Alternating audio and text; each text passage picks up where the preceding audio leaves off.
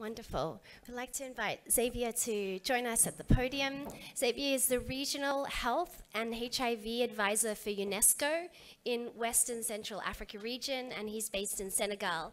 Today he's going to be talking to us about how we can harness the education sector to improve HIV and SRH outcomes for adolescents. Thank you, Xavier. Thank you so much. Uh, you know, speakers uh, very often start uh, their presentation saying how pleased and honored they are to be uh, in the room. I am pleased and honored to be in the room. I had a really terrific time yesterday, and I don't know if I liked the most, what I liked the most, if that was the presenters or the audience. It was really a wonderful day. Thank you. And above all, thank you for coming back today for our presentations. So harnessing the education sector. Can I have the next slide, please? Oh, I, I control this. Yeah, I'm in control. there are so many ways that the education sector in what well, the education sector can contribute to the response to HIV in so many ways. School has so many different effects it reduces exposure to the risk of HIV. Winnie said it yesterday. Uh, completing secondary education reduces by half the risk of exposure to HIV among adolescent girls. School delays the age of marriage. It reduces exposure to sexual and gender-based violence. It increases women's and girls' chances of being financially secure and independent. And I think that by now we're convinced that it is an important aspect of the response to HIV. It equips learners with knowledge, attitudes, and skills to stay healthy. And we can manage this through a wide range of, of interventions by making schools safer, healthier, and more inclusive. For instance, through the response to school-related gender-based violence. We can make interventions to, uh, to um, manage, well, to prevent and respond to pregnancies in school settings. We can respond to COVID-19 and other outbreaks, which has uh, very bad effects on uh, the, the, response to, to HIV and other negative consequences. We can have social protection programs, school health and nutrition programs, and learners can be empowered to take their own health into, into, their own hands through comprehensive sexuality education, for instance. Let me give you a few examples of uh, programs that can be implemented in school settings into a, a little bit more details. For instance, the response to school-related gender-based violence. But first, what is school-related gender-based violence? It is any kind of violence, be it physical, psychological, sexual, that is uh, the result of power asymmetries and that is caused by um, gender norms and that justifies the, the, the, the violence and which affect differently boys and girls. For instance, girls are more likely to be victims of sexual violence, while boys can be more likely, are more likely to be victims of physical violence. And to respond to school-related gender-based violence, there is a need to act at many different levels. Leadership, we need laws, we need policies, we need sector-wide analysis and planning. And for those of us who are not from the education sector, if something is not in the education sector planning, it's not institutionalized, it's not sustainable. It need, needs to be there to be there in the long run and to have the means to be implemented. To respond to school-related gender-based violence, we need to act on the environment. We need separate toilets for boys and girls which are secure and comfortable enough. We need um, water and soap to wash hands. We need um, spaces which are inclusive for all learners we need safe spaces and we need codes of conduct and regulations. To respond to school-related gender-based violence, we also act at the level of teaching and learning, curricula, teacher training, um, students so that they know, both teachers and students, learners, what to do in case of violence, how to prevent violence, how to identify situations which are a risk uh, of uh, violence, and how to develop skills to do that. We need to bring responses into schools. Into schools. Uh, there is a need to be able to detect cases, to report them, uh, there is a need to have counseling services and uh, referral mechanisms so that um, victims can be oriented, victims or, or, people who are testimonies of violence can, can use health services, protection services, law enforcement services, all in partnership with communities. We know that if communities do not agree to report violence, it is not going to be reported and that will not work with young people themselves. And finally, the, the, the last component is uh, evaluation and research to monitor progress, implementation, uh, to make sure that uh, education management and information systems can collect data on a periodic basis and to make studies of prevalence of violence and, um, and research on the effect of programs. And the same components can be applied to many other different uh, interventions in school settings for health education. For instance, responding to COVID-19 and other outbreaks. So then again, we have to go through policies and education sector plans to make sure that they explicitly reference, make references to outbreaks and uh, the means to respond to them. In terms of the environment, we have hygiene protocols, physical distancing measures, water and sanitation, school feeding, for instance. School feeding can be particularly important to bring girls back to school when uh, after school have been closed. In terms of teaching and learning, then again, we have to train teachers for them to know about uh, COVID-19 and other uh, causes of outbreaks uh, to, and to prepare learners to be able to face um, those outbreaks and those epidemics. And they, the teachers also need to be able to, to do remote learning when schools are closed. In terms of uh, responses, we need to be able to um, detect cases, to report them, to manage them, and to refer them to uh, services uh, which comes into partnerships. And then again, we have to work with the health sector, with the protection uh, social sector, and to work with communities, uh, to, uh, then again, to, uh, to make sure that girls can go back to school. And in terms of monitoring, we need to know how many cases have been detected. Uh, we need research to know how the response can be improved and learn from outbreak management.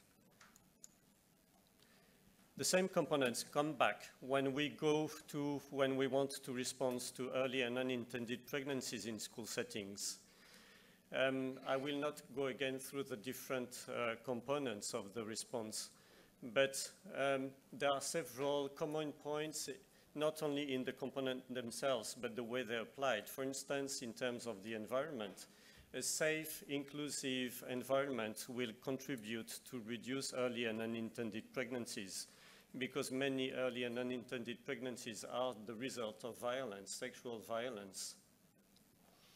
So there is a complementarity between this type of the response to early and unintended pregnancies and the response to COVID-19 and the response to, um, to, to, to uh, school-related gender-based violence. and it makes sense to have um, a planning and thinking about all these different types of responses uh, together in order to have a holistic response.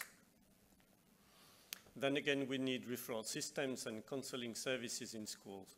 We need um, um, links with the services, health services, and um, which are both in schools or out of school. Well, there are different models for health services, but we cannot effectively respond to early and unintended pregnancies without them. And then again, we need data on girls' prevention in school, pregnancy-relating dropouts, the application of policies, and the effectiveness of programs. Now, you might argue that the main business of the education sector is teaching and learning itself. Ooh, that's, uh, my prompt is, uh, has just disappeared while the other one is really far away. so, so, I'll sue the, the, the, people who made those glasses, they're not working effectively. All right, so um, teaching and learning of comprehensive sexuality education. What is sexuality, comprehensive sexuality education? Comprehensive sexuality education is a curriculum-based process of teaching and learning, thank you, learning about the cognitive, emotional, physical and social aspects of sexuality. It aims to equip children and young people knowledge, skills, attitudes and values that will empower them to realize their health, well-being and dignity, to develop respectful social and sexual relationships, to consider how their choices affect their own well-being and that of others, and to understand and ensure the protection of their rights throughout their lives. And when we speak about the curriculum-based process, this applies to both in and out of school settings. It's not because we're doing it out of school that we shouldn't have a clear curriculum to support the, the program. CSE is effective. There is quite a lot of uh, evidence uh, saying that CSE has positive effect on young people's knowledge, attitudes, self-esteem, and behavior.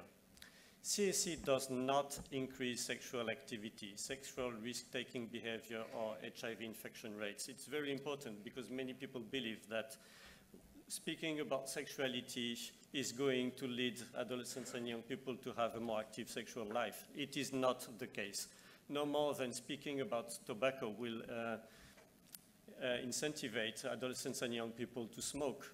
The more you speak about tobacco, the less they will speak, they will smoke. And some similar effects can be observed with sexuality education. Abstinence is a very important element of CSE, but abstinence-only programs are not effective. And there is really a lot of evidence to support that gender-focused programs are more effective than gender-blind ones in achieving health outcome. I think we had a wonderful presentation yesterday by Siri, and I'm really grateful for that because it makes the point very clear.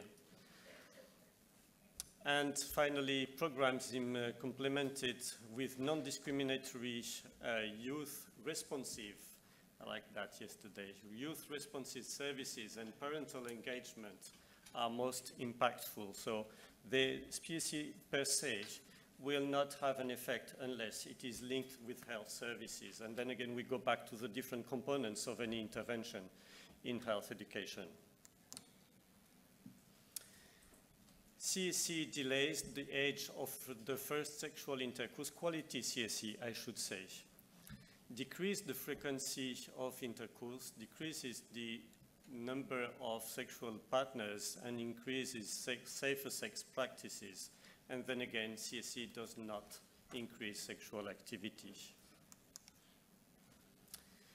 How can we improve programs in uh, sub-Saharan Africa? Well, the, through implementing large-scale programs that we have learned that there is a need to strengthen the gender component of CSE to make it more effective.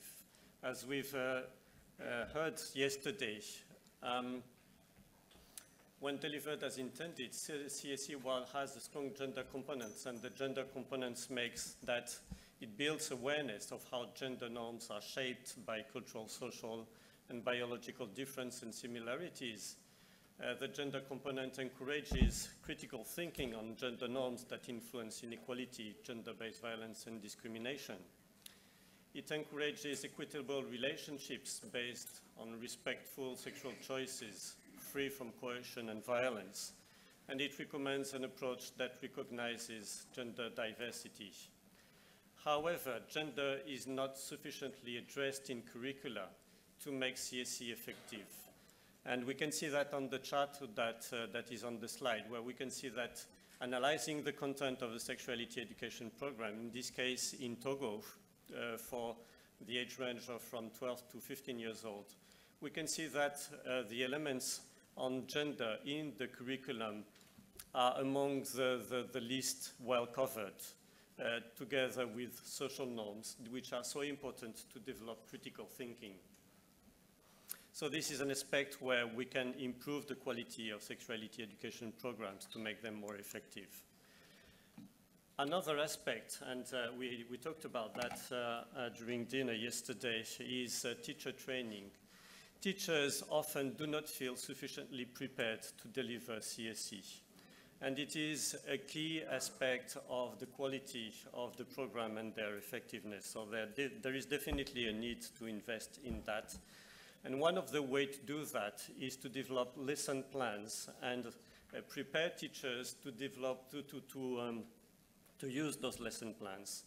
Um, it's like CSE key in hand, keys in hand.